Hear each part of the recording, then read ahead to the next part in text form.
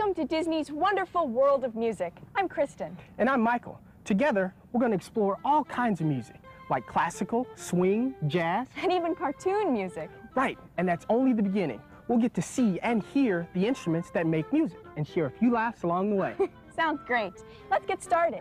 Today we're going to be talking about a whole family of instruments. You mean like a mommy instrument and a daddy instrument and a big brother instrument? Yes, you're exactly right. And they all live in a big instrument condo. Really? I, I was just kidding. So was I, Michael. This family happens to be one of the largest musical families. Like the Jacksons? Not quite. These are made of wood or metal, and they have long sound pipes with lots of holes in them. Give me one more hint, and I think I've got it. Okay. By covering the holes with your fingers or by pushing down the keys, you make different notes we've got to be talking about the woodwinds. Let's take a closer look. Woodwinds all work the same way. They all have a tube or sound pipe. The player makes the air in the instrument vibrate by blowing into or across a mouthpiece. Most woodwind instruments have a small, flat piece of cane called a reed attached to the mouthpiece. Some have single reeds, others have double reeds. What about the woodwinds that don't have any reeds? We'll talk about those later. The air passing across the reed makes it vibrate, and this makes the column of air in the instrument vibrate, producing a musical note. The longer and wider the column of air, the lower the note. The shorter and thinner the sound pipe, the higher the note. The material the instrument is made of and the shape of the sound pipe determine the instrument's tone or timbre. Because woodwinds are made of different materials and come in so many shapes and sizes, they can create different sounds and express many emotions. Woodwinds can be high and piercing, mellow and liquid, gruff, or eerie and haunting.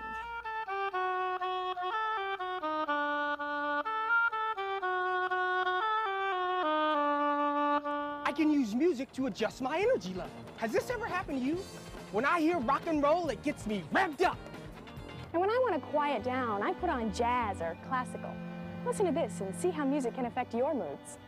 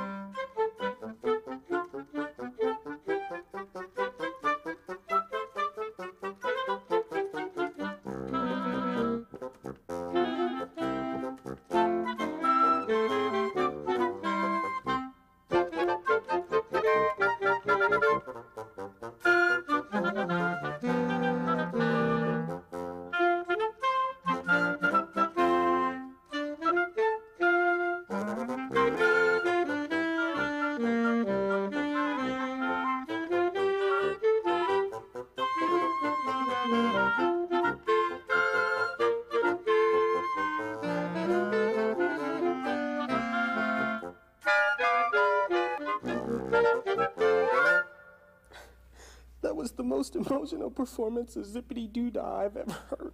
Well, that gives you an idea of the emotional range of the woodwinds. Now let's hear them one by one. The bassoon is the bass or lowest sounding member of the woodwind family. It's a double reed instrument, which means that two reeds are tied together into a tube shape called a staple, and that's attached to the horn. When the player blows into the mouthpiece, the two reeds vibrate together and create sound in the sound pipe. The bassoon sound pipe is about 8 feet long. As the sound pipe vibrates, the sound comes out of the top of the instrument.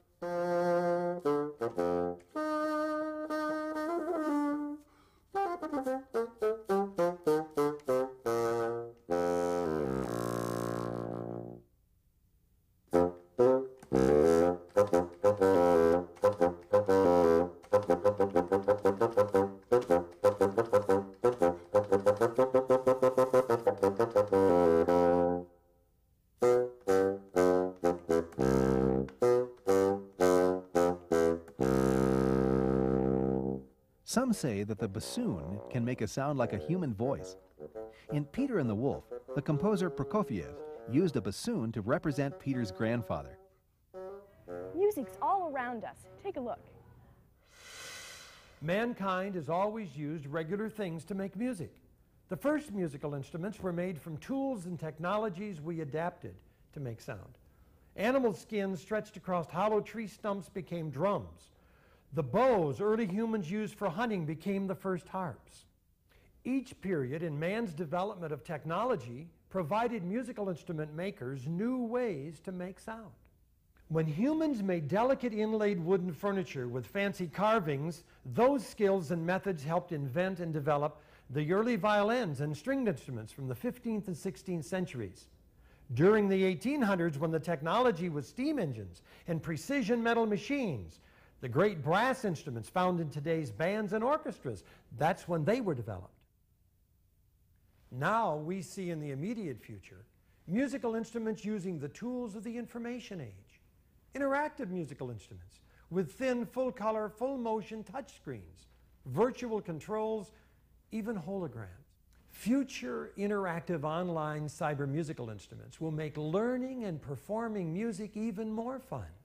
Imagine your future of music, interacting with kids and learning about music, expanding your musical experience with people everywhere. Even inventing your own cyber musical instruments, your own virtual expression of music. It will cause you to discover the cyber artist in you. The Sorcerer's Apprentice by Paul Dukas tells a musical story. In it, a student magician, not musician, tries his master's spells with disastrous results.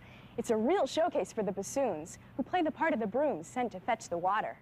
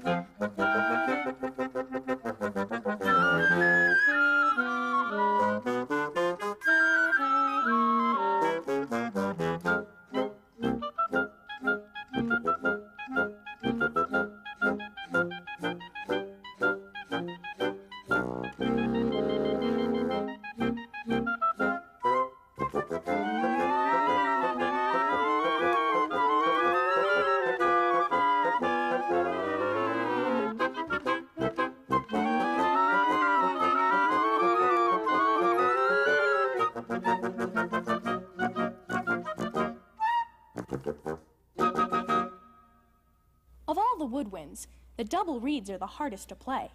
In fact, the double reeds like the bassoon or oboe are some of the hardest to play of all instruments. But there is a definite advantage to playing them. For one thing, not as many people learn to play them. So if you want to be a professional musician, it's easier to get into a band or an orchestra. Less competition. Let's look at another double reed, the oboe. The oboe has a slightly nasal sound with a bright ringing quality and is easily heard over a group of other instruments. Like the bassoon, the oboe is a double reed instrument, but much smaller.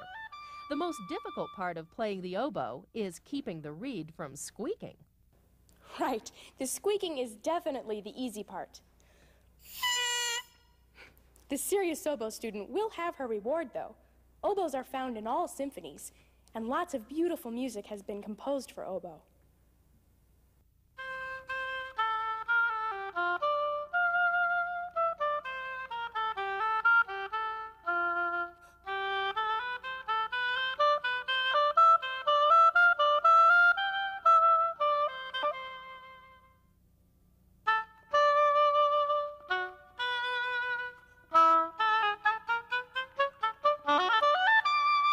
You ever heard musicians tuning up? They play certain notes and adjust their instruments to be sure that they'll all sound just right when they play together. And when they tune, they tune to the pitch of the oboe. Of all the woodwind instruments, which do you think is the most popular? I don't know. Is it the saxophone? No, actually, it's the clarinet. The clarinet is a single reed instrument, which means that a reed made of cane or sometimes fiberglass is attached to the mouthpiece. When the musician plays, the reed vibrates and the sound enters the horn through a slot in the mouthpiece. Clarinets are perhaps the most versatile of woodwinds, with a wide range of notes. The lower register, or range, has a quiet, mellow sound, while the upper register can be clear and flowing. Clarinet is featured in many classical compositions, but it's also important in marching bands, Dixieland jazz bands, and cartoon music.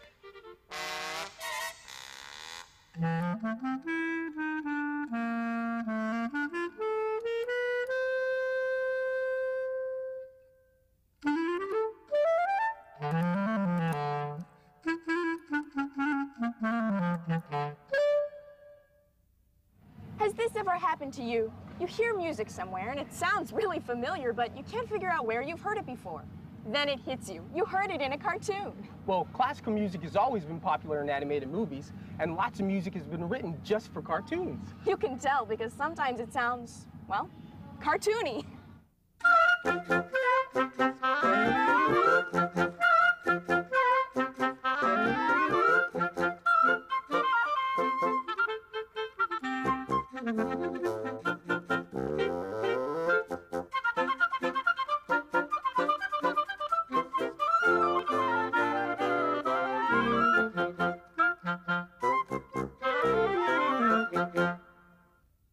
wondering how important music can be in a cartoon, just try watching one with the sound turned off.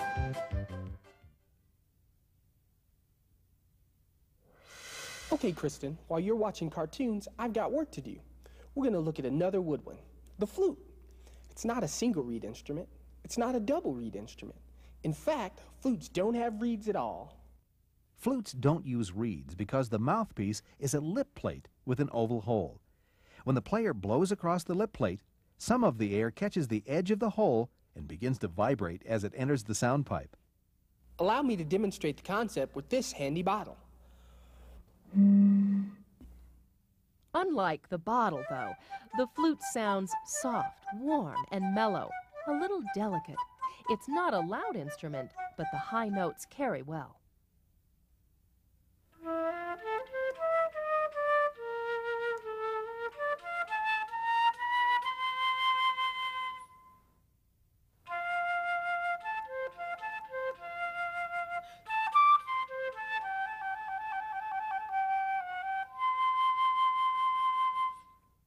Flutes go back a long way.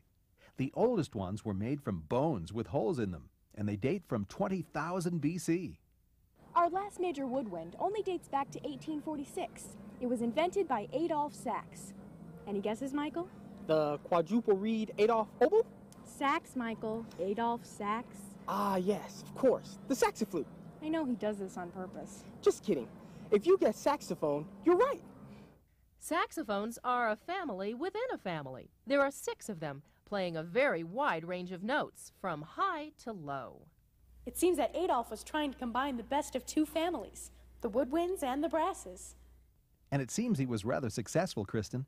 The saxophone is made of brass, but it has a single reed mouthpiece and keys much like the clarinet. It's always included in the woodwind family. Rarely used in symphonies, the sax is most at home with popular music, especially jazz.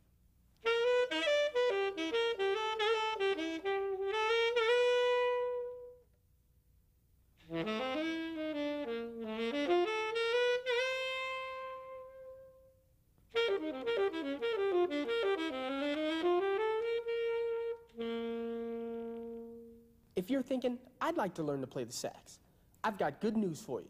The saxophone is one of the easier instruments to play, so go for it. We've met the major members of the woodwind family, but they have lots of relatives. There's the English horn, which isn't English and isn't a horn, the bass clarinet, the piccolo, which means little in Italian, the alto and bass flute, and the lowest instrument in the orchestra, the contrabassoon. We know that music is an art form, but have you ever considered that the instrument itself is a piece of art? Look, the details are beautiful. There's some wood parts and some metal parts. It's really complex. Where did it come from? How was it made? Let's find out. Clarinets are usually made of plastic, or in the case of the finer instruments, a special kind of wood. The body of a plastic clarinet is usually thinner than a wood one and is made by an injection molding process. A fine wood clarinet is sometimes made using grenadilla wood. This type of wood is very rare and expensive. Wood clarinets are turned on a lathe and bored through the center. They are smoothed, polished, and dyed for beauty. Sound holes are drilled. Technicians then make the keys, arms, and springs for the complicated mechanisms. Corks, felts, and pads are added to the keys to seal the sound holes. The completed horn is inspected for appearance and play tested to make sure everything works and sounds just right. Sometimes music is used to accompany a ballet or a movie soundtrack. This one was used for both. Do you know what it is?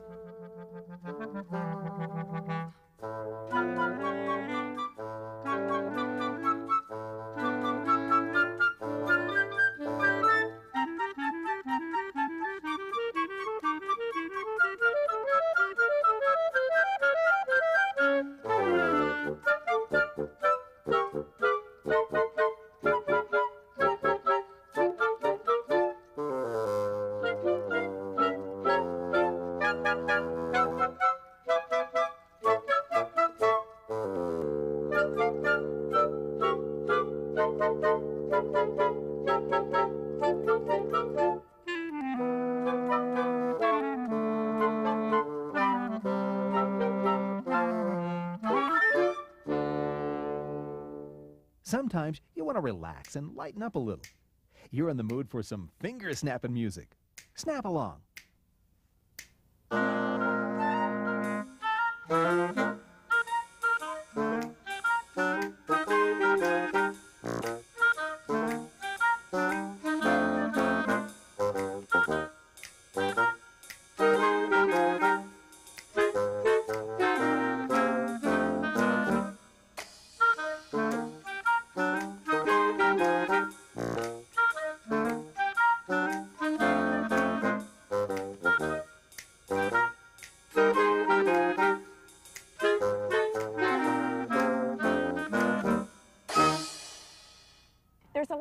Learn and remember. Want to go over what we learned today? Good idea. Okay, what do woodwind instruments have in common? You play by blowing air into the mouthpiece. The air vibrates in the sound pipe or horn and creates the musical notes.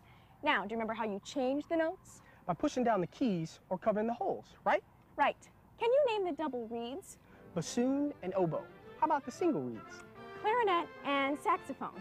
And can you name an instrument with no reeds at all? The xylophone. A woodwind, Michael. Just kidding. The flute, of course. Okay, you got me. That was fun. It sure was. And as much fun as it is to learn about music, it's more fun to learn to play. So get your hands on a woodwind and put some music in your life. See ya. Now, do you remember which woodwind has the lowest tone? The quadruple reed saxophone. Michael. Kidding, kidding. The contrabassoon. See, I was listening.